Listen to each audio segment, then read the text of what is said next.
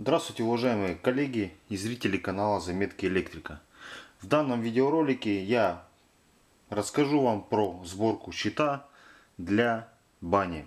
В принципе, у меня на канале уже имеется видео про сборку электрических щитов. Например, как квартирные щиты, щит для гаража я подробно рассматривал и для прочих помещений. Можете переходить в соответствующий раздел на канале и ознакомиться с этими видео. Щит у нас будет достаточно простой и бюджетный, но в то же время он будет выполнять все необходимые защитные функции. В качестве оболочки у нас и будет применяться навесной металлический распределительный щит Shiren24 серии Pro от EEC на 24 модуля. Вот у нас каждый ряд по 12 модулей. Степень защиты щита IP31 Почему не выбран щит со степенью защиты 54? Потому что данный щит будет расположен в тамбуре. То есть для данного помещения, для помещения тамбура, это вполне будет достаточно. А, кстати, кому интересно, у меня на канале имеется видео о том, как проводятся испытания оборудования на эту самую степень защиты. Что бы здесь хотел отметить по щиту. Здесь вместо металлической панели, которую мы привыкли видеть в металлических щитах используется уже пластиковая панель. Это я считаю большим преимуществом для металлических щитов и считаю ее применение достаточно безопасной.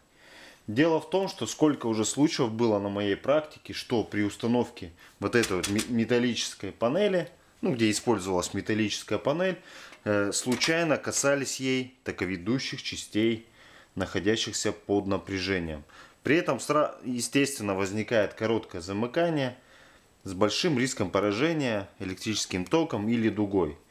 Сам лично всегда с осторожностью устанавливаю вот эти вот металлические панели и каждый раз в голову приходит мысль, почему же не сделают вот пластиковые панели в металлические щиты. Ну, видимо, производители нас услышали и вот вам, пожалуйста. Панель крепится на вот этих четырех защелках, они поворачиваются и она с легкостью снимается. Щит имеет также съемную раму. Она крепится на 4 крепежных гаечки. Вот она у нас снимается. Здесь у меня еще опорных стоечек нет, я их снял. В общем, вот рама снимается и производится в удобном месте непосредственно сборка щита. Э, также на раме установлены держатели для нулевой шинки и шины PE. Регулировка динреек по высоте отсутствует, но в этом и нет особой необходимости, так как высота от рейки до основания щита э, составляет 20 мм, что без проблем позволит э, с задней стороны прокладывать жгуты проводов и отходящие кабели. Также расстояние между динрейками здесь вполне достаточно и составляет между ее центрами 125 миллиметров. Дверка у данного щита перенавешиваемая. Устанавливаем наши коммутационные аппараты и устройства в щит. Верхний ряд. По порядочку идем. В одной автомат. Номинал 25 ампер. Характеристика C. Есть. Далее после него идет вводное УЗО. Номинал 40 ампер, ток утечки 30 миллиампер. Напомню, что согласно требований правил необходимо защищать УЗО от сверхтока. В принципе, допустимо устанавливать УЗО аналогичным номиналом, как и вводной автомат. Но так как вводной автомат имеет некую перегрузочную способность, например, при токе 1.45 от номинала, он может э, отключаться в течение аж целого часа. Поэтому, чтобы защитить УЗО от перегруза, рекомендую устанавливать его на одну ступень выше, чем э, в одной автомат. Поэтому здесь УЗО у нас на 40. Далее у нас это устройство УЗДП 63. Это устройство защиты от дугового пробоя или искрений в электропроводке, искрений в сети. О нем я еще вам не рассказывал на своем канале, но к нему я еще вернусь. Более подробно мы его испытаем. В общем, что помимо этого оно является, оно несет в себе функцию реле напряжения и при превышении напряжения выше 275 вольт отключает, отключается. Также оно имеет встроенную варисторную защиту от импульсных перенапряжений в сети. В общем, такое многофункциональное устройство, ну, наподобие устройства УЗО Elta 2D, о котором я подробно рассказывал и проводил испытания. Но, как я уже сказал, к этому устройству мы еще вернемся более подробно. Оно у нас имеет номинальный ток 25 ампер, что соответствует нашему вводному номиналу нашего вводного автомата. Оно у нас будет установлено сразу после вводного УЗО. И далее в верхнем ряду у нас будет установлена щитовая розетка. Ну, это обычно у нас розетка для устанавливаемая на DIN-рейку. То есть всегда удобно, когда в щите имеется розетка, никуда не тянуть, не бежать что-то, тут же подключил, что-то поработал. Ну и нижний ряд щита, это у нас будет ряд автоматических выключателей различных номиналов. Э, на розеточные линии, на мощные потребители, это будут у нас 16 амперные автоматы, характеристика C. На линии освещения 10 и 6 ампер.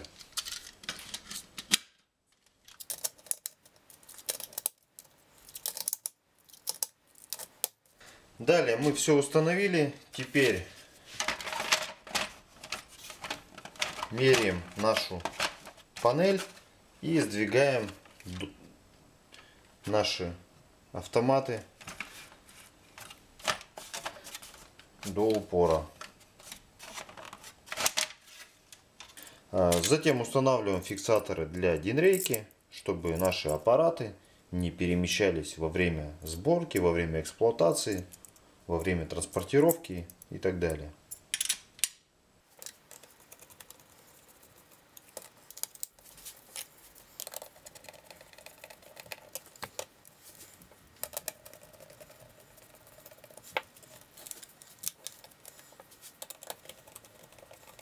Так, держатели установили. Все у нас теперь жестко, никуда не денется. Так, и примеряем нашу панель. Проверяем, что ничего не ушло. Все ровненько. Ну, начнем сборку щита по порядку. Для сборки будем использовать гибкий проводник PUGV сечением 6 квадратных миллиметров. У нас по номиналу он вполне проходит даже с некоторым запасом. В принципе, можно было и четверкой сделать коммутацию счета, но у меня его нет. Буду делать шестеркой. Начну по порядку прямо с вводного автомата. То есть с вводного автомата делаем перемычку на наше вводное УЗО. Фазную перемычку.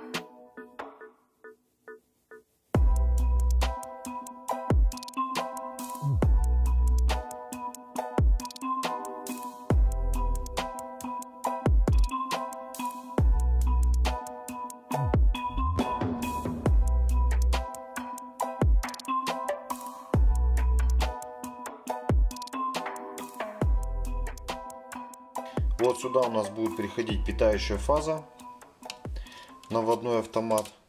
Дальше вот фаза у нас уходит вот сюда. Вот эта перемычка на вводное УЗО. Дальше с вводного УЗО уходит на вход нашего устройства защиты от дугового пробоя. Здесь вход у него сни снизу. И отсюда уже фаза уходит у нас, вот она приходит и пойдет на ряд автоматов, которые в свою очередь у нас будут соединены гребенкой, однополюсной гребенкой, как раз таки на 12 модулей.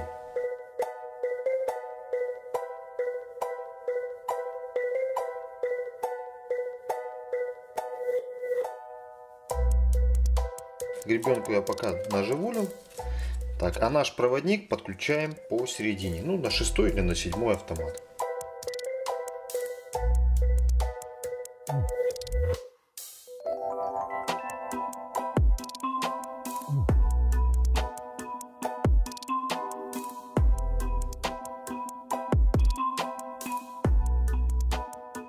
Питающий ноль у нас будет переходить вот сюда на УЗО сразу.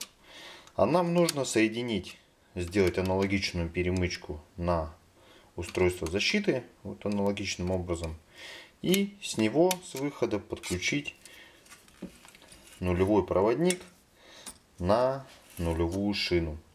Кстати, в данной комплектации щита нулевой, нулевая шина отсутствует. Это я установил уже стороннюю. А у щита серии Universal у него идет уже полный комплект.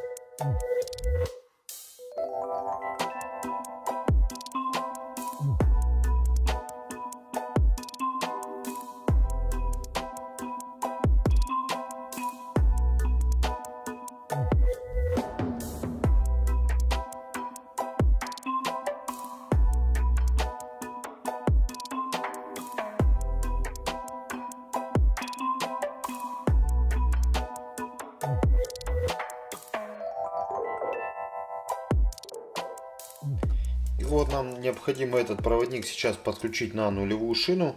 Но здесь бы хотелось сделать дополнение. Нулевые шины у данной серии щитов э, в комплекте не поставляются. То есть их нужно приобретать отдельно. Как нулевую шинку, так и шину для PE проводников. Шину PE. В щите установлены два пластиковых держателя. И их можно использовать, ну, например, один держатель для нулевых шин, второй для шин PE. Какой минус, сразу скажу. В отличие от тех же щитов Мистраль, то что, вот, например, вот этот держатель я бы хотел установить, допустим, для шины PE вверху, а для нулевых шин внизу. Ну, чтобы здесь вот было побольше места для коммутации. К сожалению, здесь я такого сделать не смогу, потому что вот эти крепежные стойки, они предназначены одновременно для двух держателей. Поэтому мы можем установить два держателя либо внизу, либо два держателя вверху. Ну, я оставлю внизу. Теперь по шинке. Шинку я вот, одна у меня уже здесь установлена. Но дело в том, что она здесь свободно перемещается, видите? И для ее фиксации, чтобы во время эксплуатации она не соединилась там с другой шинкой, если таковые будут иметься, ее необходимо здесь зафиксировать. Обычно вот в шинке идет 2 или 1 по центру э, нарезана резьба ну, для крепления на изоляторе или просто корпусу щита. Здесь же вот у меня шинки это от ABB-шного щита. Они идут в своих корпусах, таких вот фиксированных. Поэтому никаких дополнительных здесь отверстий для крепления нет. Поэтому я решил сделать немножко иначе. Вот у меня есть две такие шинки. я сейчас их разберу и установлю в, нашу, в наши держатели.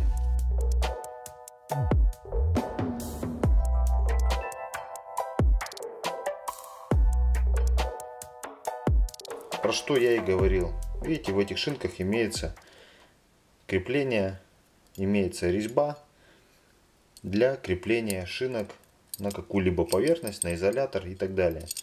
А я это буду применять с помощью этих же винтов.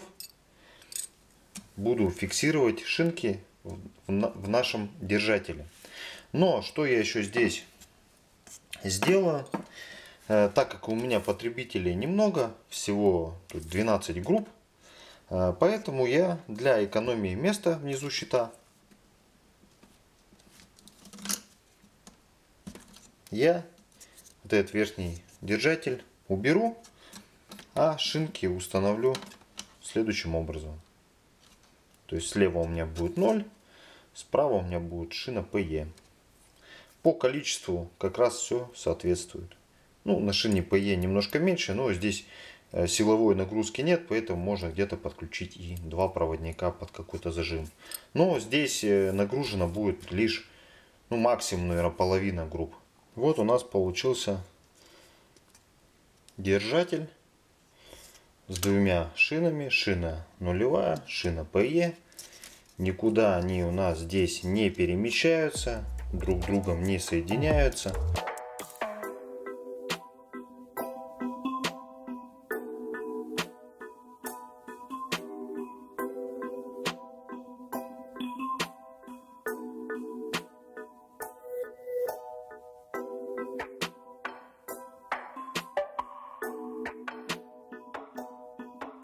Ну вот, в принципе, силовая часть щита собрана.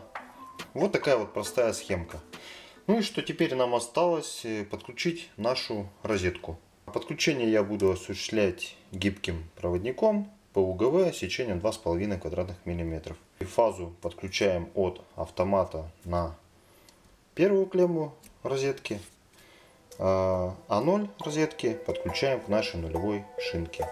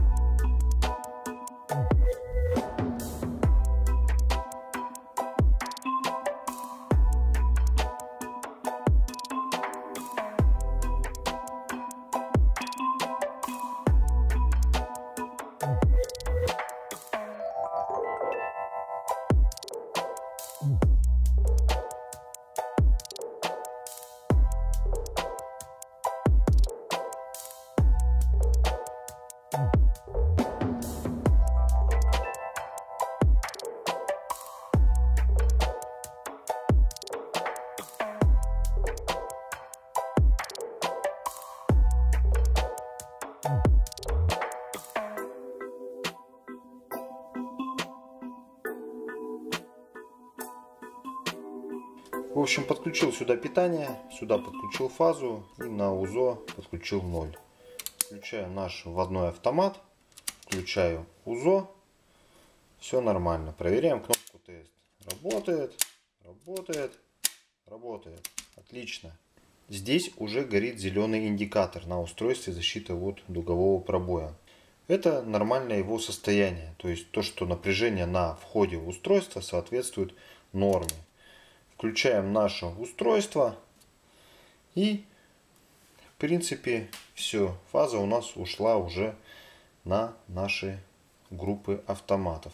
Ну, включим нашу розетку. Вот он наш автомат. К этому устройству в комплекте идет специальная вилочка. Это имитация дугового пробоя. Поэтому, чтобы убедиться в чувствительности данного устройства не конкретно для вашей сети, берем вот такую испытательную вилку и проходим все наши розетки, там, да, которые у нас имеются в квартире там или на даче. В общем, у меня имеется пока всего лишь одна розетка, и я вставляю эту вилочку в нее и смотрим, как отреагирует на нее устройство. Оп.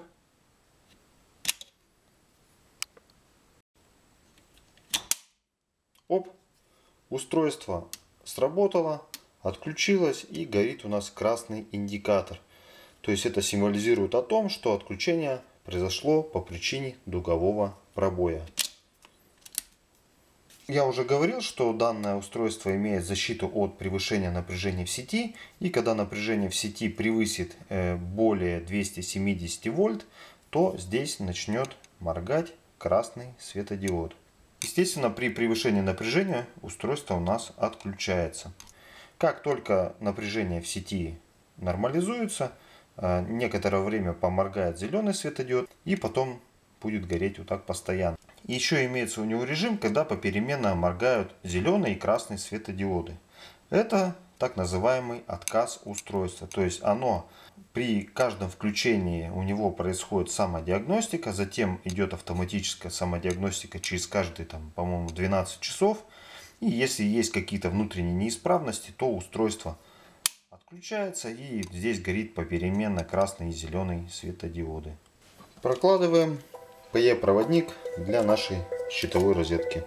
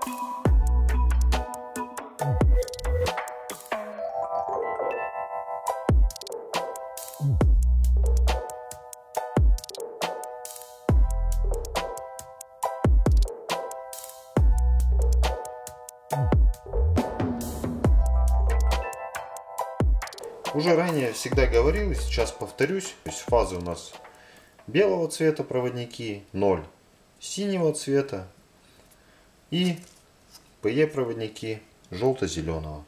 Как я уже говорил ранее, для коммутации щита я применил гибкие проводники сечением 6 квадратных миллиметров и сечением 2,5 квадратных миллиметров. А соответственно при подключении гибкого проводника к устройствам к автоматам, к УЗО, к розетке и так далее, я использовал втулочные наконечники НШВИ соответствующего, естественно, размера. Здесь хотел бы рассказать про нюанс. Вот когда идет полный набор, полная комплектация щита, а там еще входит одна вот такая вот перемычка которая устанавливается для заземления непосредственно вот дверцы щита, а уже отсюда происходит соединение с PE шиной. В принципе так делать можно, то есть соединять сюда, потом на шину PE последовательно. Э, физический смысл как бы особо не теряется. Но согласно ПУЭ так делать запрещено. Заземлять нужно каждый элемент отдельным PE проводником. То есть Отдельный проводник у нас идет с шины PE на дверцу, сюда вот. И отдельный PE проводник у нас идет на корпус щита. Почему я сейчас сразу подключаю PE проводники? Потому что это сейчас делать удобно, пока здесь еще нет рамы. Итак, поехали.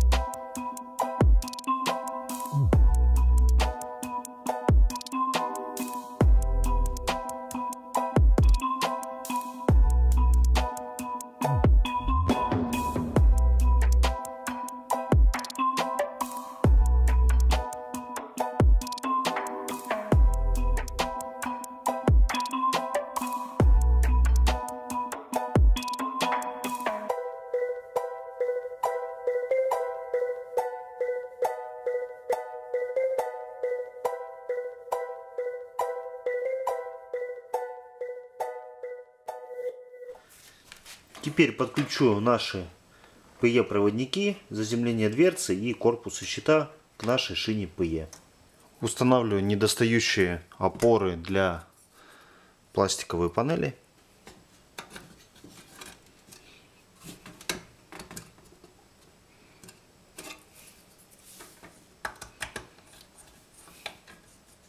Один проводничок я уже здесь подключил. Корпус щита. И у меня еще вот здесь один остался. И вот здесь вот есть такая вот особенность. То есть, когда мы одеваем панель, вот здесь вот у нас проводничок этой панелью зажимается. Но здесь специально предусмотрены выламываемые уголки именно для вот этого нашего проводника. Ну вот, в принципе, на этом и все. Осталось нам одеть пластиковую панель и щит готов.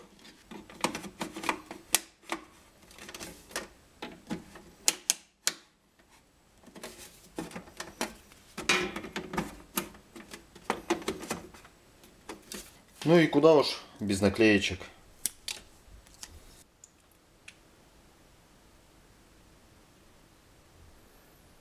Эти наклеечки с маркировкой групп автоматов заказчик затем наклеит сам, потому что я еще сам не знаю точное наименование потребителей. А что я сделаю точно? Так это я наклею в щит вот такую дополнительную наклейку, подсказку по алгоритму работы нашего устройства защиты от дугового пробоя. Здесь имеется полная расшифровка, какой светодиод горит, что это обозначает. Ну, а об этом я вам рассказывал в видеоролике, но как памятка в щите данная наклейка будет очень кстати.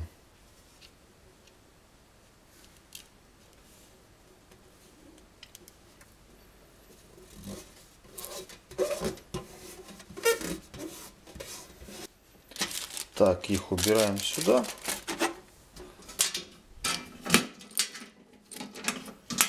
Ну и куда же без наклеечки, осторожно, напряжение.